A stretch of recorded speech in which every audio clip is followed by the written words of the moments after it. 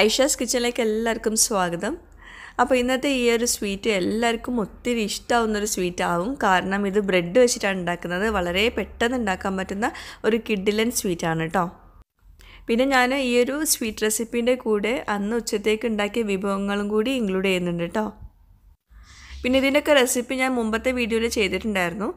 ഇത് കുരുമുളക് ഇട്ട് ബീഫ് ബീഫ് ഫ്രൈന്റെ റെസിപ്പി തന്നെയാണ്. പക്ഷേ ഇതിൽ കുരുമുളക് ഇട്ടിട്ടില്ല. ഞാൻ മുളക് പൊടിയാണ് യൂസ് ചെയ്തിട്ടുള്ളത്. കുരുമുളകിന്റെ ടേസ്റ്റ് മക്കൾക്ക് അത്ര ഇഷ്ടമില്ല.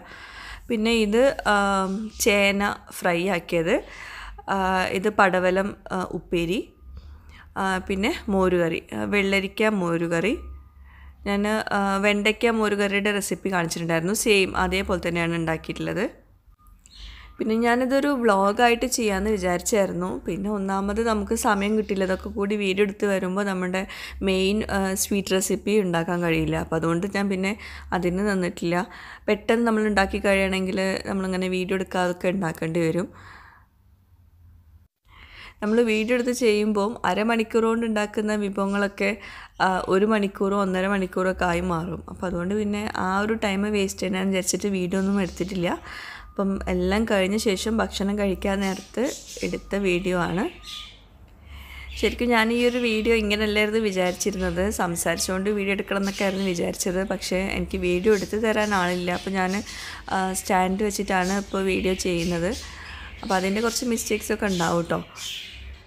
പിന്നെ ഞാനിതിപ്പോൾ ഉണ്ടാക്കിയിട്ടുള്ളത് ഉച്ചത്തേക്കാണെങ്കിലും ഇത് വൈകിട്ടേക്കുള്ള ഫുഡാണ്. കാരണം ഉച്ചത്തേക്ക് അവരെല്ലാവരും സ്കൂളിലേക്കും ഓഫീസിലേക്കും കൊണ്ടുപോയിട്ടുണ്ട്. പിന്നെ ഇനി തിരിച്ച് അവർ വരുന്ന സമയത്ത് ഇതാണ് കഴിക്കുന്നത്. പിന്നെ ഞാൻ നേരത്തെ ഒന്നും ഉണ്ടാക്കിയെന്നേ ഉള്ളൂ. എനിക്കും കൂടി ഉച്ചത്തേക്കും കഴിക്കാമല്ലോ എന്ന് വിചാരിച്ചിട്ട്.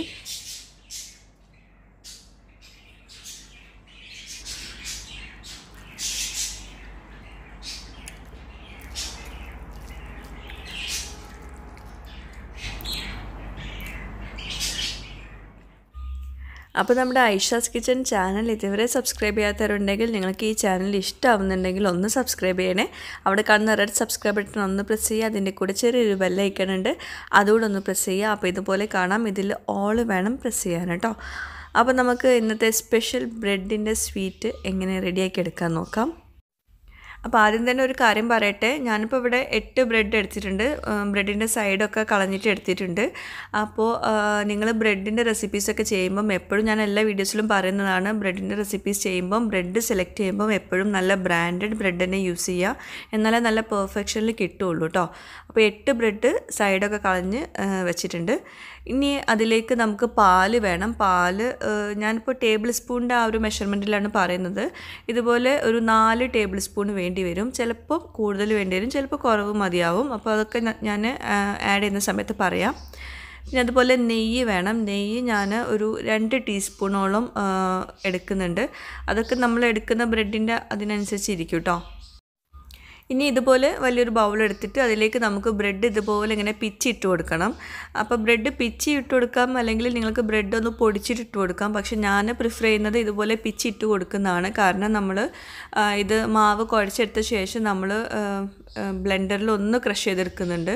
അപ്പം അതായിരിക്കും ഏറ്റവും നല്ല മെത്തേഡ് അപ്പം ബ്രെഡൊക്കെ പിച്ചിട്ട് കൊടുത്തിട്ടുണ്ട്. ചെറുതായിട്ട് തന്നെ പിച്ചിട്ട് കൊടുക്കുക കേട്ടോ ഇനി അതിലേക്ക് നമുക്ക് ഒരു ടീസ്പൂണ് നെയ്യ് ചേർത്ത് കൊടുക്കാം.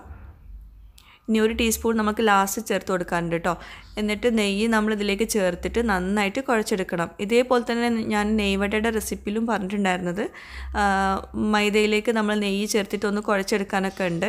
അപ്പം അതുപോലെ തന്നെയാണ് ഇപ്പോൾ ഇതിൽ നമ്മൾ ചെയ്യുന്നത് കേട്ടോ സിമ്പിളായിട്ടുള്ളൊരു മെത്തേഡാണ് നെയ്വടയുടെ.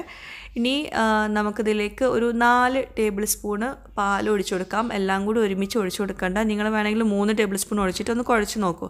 ഒരിക്കലും പാലോ ഇനിയിപ്പോൾ ഇതിന് പകരം വേണമെങ്കിൽ വെള്ളം ചേർത്ത് കൊടുക്കാം. പക്ഷേ അത് കൂടി പോവരുത്.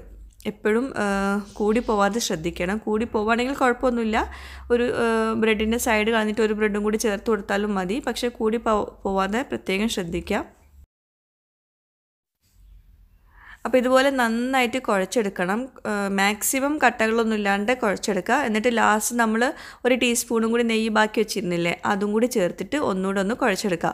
അത് ഒട്ടി പിടിക്കാതിരിക്കാൻ വേണ്ടിയിട്ടാണ് നമ്മൾ ലാസ്റ്റ് ചേർത്ത് കൊടുക്കുന്നത്. അപ്പോൾ ഞാൻ കുഴച്ചെടുത്തിട്ടുണ്ട്. ഇതുപോലെ കുഴച്ചെടുത്തിട്ടുണ്ട്.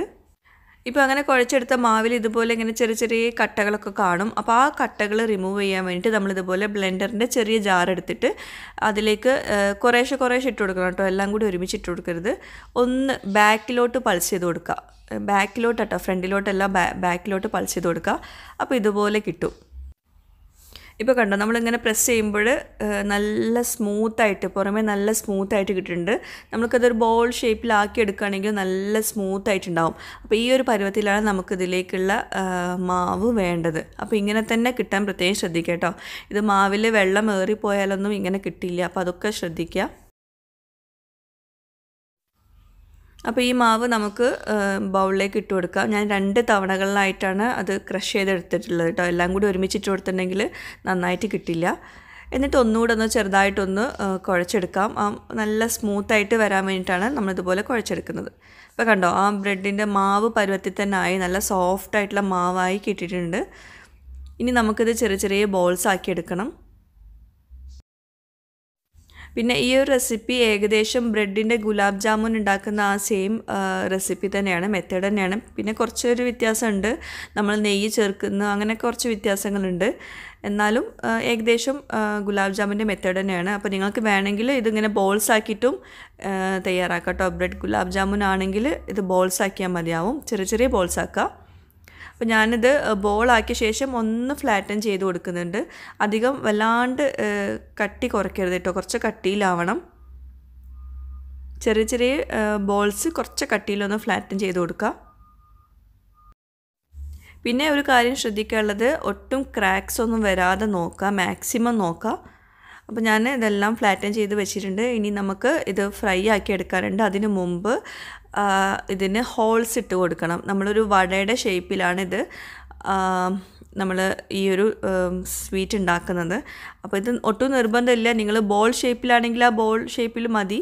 ഇതിപ്പോൾ വടയുടെ ഷേപ്പ് ആയതുകൊണ്ട് ഞാനിതുപോലെ ഒരു സ്ട്രോ എടുത്തിട്ട് ഇങ്ങനെ ഹോളാക്കി കൊടുക്കുന്നുണ്ട്. ഒരു പെർഫെക്ഷന് വേണ്ടി മാത്രമാണ്. അല്ലെങ്കിൽ കൈ കൊണ്ട് തന്നെ നിങ്ങൾക്ക് ഹോളാക്കി എടുക്കാം. അങ്ങനെ വരുമ്പോൾ ഒരു പെർഫെക്ഷൻ കിട്ടില്ല. അതുകൊണ്ടാണ് ഇതുപോലെ സ്ട്രോ എടുക്കാൻ പറയുന്നത്. ഇങ്ങനെ എന്താ പറയുക നമ്മൾ സാധാ സ്ട്രോ അല്ല കേട്ടോ ഇത്. അപ്പം പ്ലാസ്റ്റിക്കിന്റെ സ്ട്രോ അല്ല. കുറച്ച് കട്ടിയുള്ള നല്ല സ്ട്രോങ് ആയിട്ടുള്ള സ്ട്രോ ആണ്. അപ്പോൾ അതുകൊണ്ടാണ് നല്ല ഷേപ്പിൽ ഇത് കിട്ടുന്നത്. സാധാ സ്ട്രോ കൊണ്ട് ഇങ്ങനെ കിട്ടുമെന്ന് അറിയില്ല. ഇനിയിപ്പോൾ സ്ട്രോ ഇല്ലെങ്കിൽ അതുപോലെ എന്തെങ്കിലും ഷേപ്പിലുള്ള എന്തെങ്കിലും സാധനം കൊണ്ട് ഒന്ന് ഷേപ്പ് ചെയ്ത് കൊടുത്താൽ മതി. ഇനി നമുക്കിത് ഫ്രൈ ആക്കി എടുക്കണം. അതിനു മുമ്പ് നമുക്ക് പഞ്ചസാരയുടെ സിറപ്പ് ഉണ്ടാക്കണം. അതിനുവേണ്ടി ഞാനിപ്പോൾ ഒരു കപ്പ് വെള്ളം ഒഴിച്ചു കൊടുക്കുന്നുണ്ട്. അതിലേക്ക് ഞാനൊരു അര കപ്പ് പഞ്ചസാര ഒഴിച്ചു കൊടു ഇട്ട് കൊടുക്കുന്നുണ്ട്. പിന്നെ ഒരു രണ്ട് ഏലക്കയും കൂടി ഇട്ട് കൊടുക്കുന്നുണ്ട്. പിന്നെ റോസ് വാട്ടർ ഉണ്ടെങ്കിൽ ചേർത്ത് കൊടുക്കാം. ഞാനിപ്പോൾ ചേർക്കുന്നില്ല. കാരണം പലരിടത്ത് റോസ് വാട്ടർ ഉണ്ടാവില്ല. അപ്പോൾ നന്നായിട്ട് മിക്സ് ചെയ്ത് കൊടുക്കുക. പഞ്ചസാര മെൽട്ടാവുന്ന വരെ ഒന്ന് മിക്സ് ചെയ്ത് കൊടുത്ത ശേഷം നമുക്കതിലേക്ക് ചെറുനാരങ്ങയുടെ നീര് ഒന്ന് ആഡ് ചെയ്ത് കൊടുക്കുക. അത് നമ്മൾ ഈ സിറപ്പ് ക്രിസ്റ്റലൈസ് ആവാതിരിക്കാൻ വേണ്ടിയിട്ടാണ് നമ്മൾ ചെറുനാരങ്ങയുടെ നീര് ചേർത്ത് കൊടുക്കുന്നത്. അപ്പോൾ ഞാനത് മറ്റേ ഫ്ലെയിമിലേക്ക് മാറ്റിയിട്ടുണ്ട്. ഇനി നമുക്കത് ഫ്രൈ ആക്കി എടുക്കണം. അപ്പോൾ അതവിടെ ചെറിയ ഫ്ലെയിമിൽ ഇരുന്നോട്ടെ. നമുക്ക് ഒരു നൂൽ പരുവം ഒന്നും വേണ്ട കേട്ടോ. നമ്മൾ ഗുലാബ് ജാമുന്റെ ആ ഒരു പരുവം മതി. അപ്പോൾ അതുകൊണ്ട് ഒരു നൂൽ പരുവ് ആവുന്നതിന് മുമ്പ് നമുക്ക് അത് ഓഫാക്കി വെക്കണം. അത് ശ്രദ്ധിക്കുക കേട്ടോ. ഞാൻ ഇത് ഫ്രൈ ആക്കി എടുക്കാൻ പോവുകയാണ് അതിനുവേണ്ടി ഇങ്ങനെ എണ്ണ ചൂടാക്കിയിട്ടുണ്ട്. എണ്ണയുടെ ചൂട് ഇവിടെ വളരെയധികം ശ്രദ്ധിക്കേണ്ടിയിരിക്കുന്നു. വളരെ കുറഞ്ഞ ഫ്ലെയിമിൽ നമ്മളിത് ഫ്രൈ ആക്കിയിട്ടുണ്ടെങ്കിൽ എല്ലാം കൂടി പൊടിഞ്ഞു പോകും വളരെ ഹൈ ഫ്ലെയിമിലാണെങ്കിൽ ഉള്ളു വേവില്ല. അപ്പോൾ അതുകൊണ്ട് ഒരു മീഡിയം ഫ്ലെയിമിൽ വെച്ചിട്ട് വേണം നമ്മളിത് ഫ്രൈ ആക്കി എടുക്കാൻ. ഇതിങ്ങനെ ഇട്ട് കൊടുക്കുന്ന സമയത്ത് ഇതുപോലെ ഇങ്ങനെ ഫ്രൈ ഇതുപോലെ ചൂടുണ്ടായിരിക്കണം. ചൂടില്ലെങ്കിൽ ഈ ഒരു ഇത് ഫ്ലോപ്പായി പോകും അപ്പോൾ ഇത് പ്രത്യേകം ശ്രദ്ധിക്കുക. പിന്നെ ഒരുപാട് നേരം എണ്ണയിൽ ഇങ്ങനെ ഫ്രൈ ആക്കി എടുക്കും ചെയ്യരുത്. അപ്പോഴും ഇത് പൊട്ടിപ്പോവും. പെട്ടെന്ന് പെട്ടെന്ന് തിരിച്ചിട്ട് കൊടുക്കുക പിന്നെ അഥവാ ഇനിയിപ്പോൾ മുകൾ ഭാഗം ഇങ്ങനെ ക്രാക്സ് വരാൻ വരികയാണെങ്കിൽ അപ്പം തന്നെ നമ്മൾ ഈ ഓയിലിനെ എടുത്ത് മാറ്റണം. അപ്പോൾ അത് നമ്മളിങ്ങനെ ശ്രദ്ധിച്ചുകൊണ്ട് നിൽക്കണം. ഇവിടുന്ന് മാറിപ്പോവരുത്.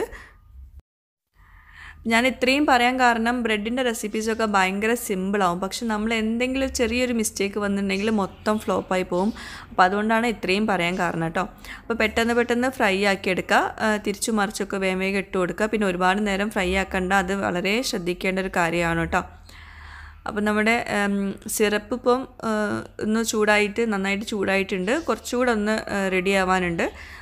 ഒരു നൂൽ പരുവം ആവേണ്ടൊന്നും ആവശ്യമില്ല. അതുകൊണ്ട് തന്നെ ചെറിയ ഫ്ലെയിമിലാണ് ഞാൻ വെച്ചിട്ടുള്ളത്. അപ്പോൾ ഈ ഒരു സെയിം മെത്തേഡിൽ നിങ്ങൾക്ക് ബ്രെഡിന്റെ ഗുലാബ് ജാമുൻ ഉണ്ടാക്കാൻ പറ്റും. അപ്പോൾ അങ്ങനെ വരികയാണെങ്കിൽ ചെറിയ ചെറിയ ബോൾസ് ആക്കിയിട്ട് ഇതുപോലെ ഫ്രൈ ആക്കി എടുക്കുക. അപ്പോൾ നമ്മുടെ ഈ ബ്രെഡിന്റെ ഈ ഒരു സ്വീറ്റ് ഫ്രൈ ആയിട്ടുണ്ട്. ഇപ്പോൾ കണ്ടോ ഒരു ക്രാക്സ് ഒരെണ്ണം ക്രാക്ക് ആയിട്ടുണ്ട്. അപ്പോൾ നമുക്ക് പെട്ടെന്ന് അത് കോരി മാറ്റണം. അല്ലെങ്കിൽ അത് പൊടിഞ്ഞു പോവും. അപ്പോൾ അത് വളരെ ശ്രദ്ധിക്കുക പിന്നെ നമ്മളത് കോരി മാറ്റുന്ന സമയത്ത് ഭയങ്കര സോഫ്റ്റ് ആവും. പിന്നെ ഒരു രണ്ട് മൂന്ന് മിനിറ്റ് കഴിഞ്ഞാൽ നല്ല ഹാർഡാവും അപ്പോൾ അതുകൊണ്ട് കുഴപ്പമൊന്നുമില്ല. ചെറിയ ക്രാക്സ് ഒന്നും കുഴപ്പമില്ല. ക്രാക്സ് വന്ന പാടെ മാറ്റണം കേട്ടോ. പിന്നെ രണ്ടാമത്തെ ഇട്ട് കൊടുക്കുന്ന സമയത്തും നമ്മൾ ചൂട് മീഡിയം ഫ്ലെയിമിലാണോ നോക്കണം. ചൂടില്ലാത്തതിലേക്ക് ഇട്ട് കൊടുത്താൽ മൊത്തം പൊടിഞ്ഞു പോകും കേട്ടോ അപ്പോൾ കണ്ടോ കുറച്ചൊന്ന് ഹാർഡായിട്ടുണ്ട് ഇനി നമുക്ക് ഇത് സിറപ്പിലേക്ക് ഇട്ട് കൊടുക്കണം. അപ്പം സിറപ്പിലേക്ക് ഇട്ട് കൊടുക്കുന്ന സമയത്ത് സിറപ്പ് ചൂടുണ്ടായിരിക്കണം. ഒരു മീഡിയം ചൂടുണ്ടായാൽ മതി വല്ലാണ്ട് ചൂടാവണമെന്നില്ല ഇട്ട് കൊടുത്തിട്ട് ഒരു മുപ്പത് സെക്കൻഡ് മാത്രം അതിൽ വെച്ചാൽ മതി. അതിന് മുമ്പേ നമ്മൾ എടുക്കണം കേട്ടോ ഒരുപാട് നേരം ഇട്ട് വെക്കരുത്. വേണമെങ്കിൽ ഒന്ന് ഇട്ട പാടൊന്ന് തിരിച്ചിട്ട് കൊടുക്കാം. ബ്രെഡാണ്. അതുകൊണ്ട് പെട്ടെന്ന് ഈ സിറപ്പ് വലിച്ചെടുക്കും. അപ്പോൾ ഭയങ്കര സോഫ്റ്റായി പോവും. ഇനി നിങ്ങൾ ശ്രദ്ധിക്കേണ്ടത് ഇതിങ്ങനെ അതിൽ നിന്ന് കോരി മാറ്റിയല്ലോ. ഇനി ഇതൊരു പതിനഞ്ച് മിനിറ്റോളം ഒന്ന് ഫ്രിഡ്ജിൽ വെക്കുക. ഫ്രിഡ്ജിൽ വെച്ചിട്ടൊന്ന് തണുപ്പിച്ചിട്ട് കഴിക്കുക. അപ്പോൾ സെയിം നമ്മുടെ നെയ്വടയുടെ ടേസ്റ്റ് ആയിരിക്കും ഈ ഒരു സ്വീറ്റിന് ഉണ്ടാവുക. അപ്പം വളരെ ഈസി ആയിട്ട് ഉണ്ടാക്കാൻ പറ്റില്ല? നെയ്വട നെയ്വട ഒക്കെ നമ്മൾ സാധാരണ ഉണ്ടാക്കുകയാണെങ്കിൽ ഒരുപാട് ടൈം എടുക്കുന്നതാണ്. അപ്പോൾ ഇത് ഞാൻ കുറച്ച് നേരം ഒന്ന് ഫ്രിഡ്ജിൽ വെച്ചിട്ടുണ്ടായിരുന്നു. അപ്പോഴാണ് അതിന്റെ ഒരു ടേസ്റ്റ് വരുന്നത് കേട്ടോ. ഇത് ഉണ്ടാക്കിയ പാടെ ചൂടോട് കഴിക്കുമ്പം നമുക്ക് ആ ഒരു ശരിക്കുള്ള ടേസ്റ്റ് കിട്ടില്ല. സിറപ്പിന്റെ ടേസ്റ്റൊക്കെ ആയിരിക്കും വരിക. കുറച്ച് നേരം ഫ്രിഡ്ജിൽ വെച്ചിട്ട് കഴിക്കാൻ മറന്നു പോകരുത് അപ്പോൾ സെയിം നെയ്വടയുടെ ടേസ്റ്റാണ് ഈ ഒരു സ്വീറ്റിനുള്ളത് അപ്പോൾ ഒന്ന് ട്രൈ ചെയ്ത് നോക്കുക എല്ലാവർക്കും ഇഷ്ടപ്പെടുന്നുള്ളത് ഉറപ്പാണ്. വളരെ ഈസി ആയിട്ട് ഉണ്ടാക്കാൻ പറ്റുന്ന ഒരു സ്വീറ്റ് കൂടിയാണ്. പിന്നെ കുറേ പേര് ഹായ് പറയാൻ പറഞ്ഞിട്ടുണ്ട്. അതൊക്കെ ഞാൻ അടുത്ത വീഡിയോയിൽ പറയാട്ടോ ഇന്നത്തെ ഈ ഒരു വീഡിയോയിൽ ഒരു ബർത്ത്ഡേ വിഷ് ഉണ്ട്. ഒക്ടോബർ ഫോർത്തിന് അതായത് നാളെ ബർത്ത്ഡേ ആഘോഷിക്കുന്ന നിഹാൽ ജബീൻ മോൾക്ക് ഒരായിരം ജന്മദിനാശംസകൾ നേരുന്നു. ഐഷാസ് കിച്ചന്റെ വകയും ഐഷാസ് കിച്ചൻ വ്യൂവേഴ്സിന്റെ വകയും. Happy birthday thank